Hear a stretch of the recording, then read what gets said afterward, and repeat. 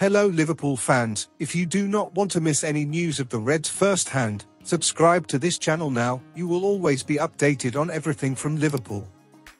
Liverpool have taken a major step towards signing RB Leipzig's Dominik Szoboszlai after agreeing to pay the £60 million termination clause in his contract.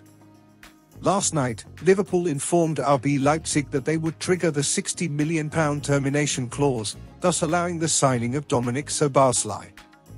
This news represents a significant breakthrough in the Hungary captain's possible move to Anfield. The Reds met with the players' representatives earlier this week and made the approach to the Bundesliga club official on Friday, Szoboszlai had a termination clause in his contract worth £60 million, but that clause was set to expire on June 30th, which required swift action by Liverpool to secure the deal. Newcastle United were also interested in the 22-year-old and offered him the opportunity to play in the Champions League next season, following his fourth-place finish last season. Leave your like on the video, and very important for you not to miss the latest news of the Liverpool that we post here. However, Szoboszlai has expressed a desire to play under Jurgen Klopp, prompting Newcastle to look for other alternatives after James Maddison's transfer to Tottenham Hotspur this week. Negotiations with RB Leipzig moved forward when the two clubs reached an agreement involving Fabio Carvalho. The 20-year-old will move to the German club on loan next season, as confirmed on Friday.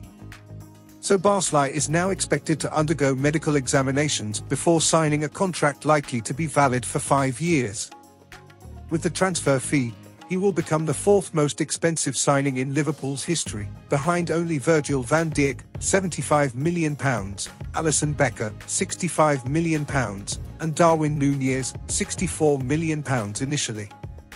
The former Red Bull Salzburg midfielder will add depth to the midfield sector, which also added World Cup winner Alexis Mac Allister to its ranks. Mac Allister has had his £35 million termination clause triggered by Brighton and Hove Albion.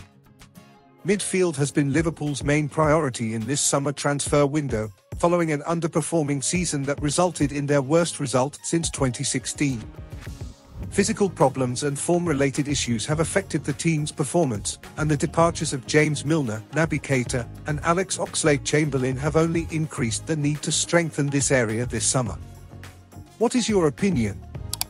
Leave a comment here because it is very important for our Liverpool.